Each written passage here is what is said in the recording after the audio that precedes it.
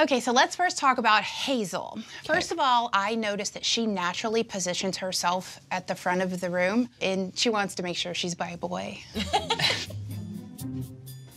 Who likes sitting next to boys in school? Hazel. Who, who do you sit next to at school?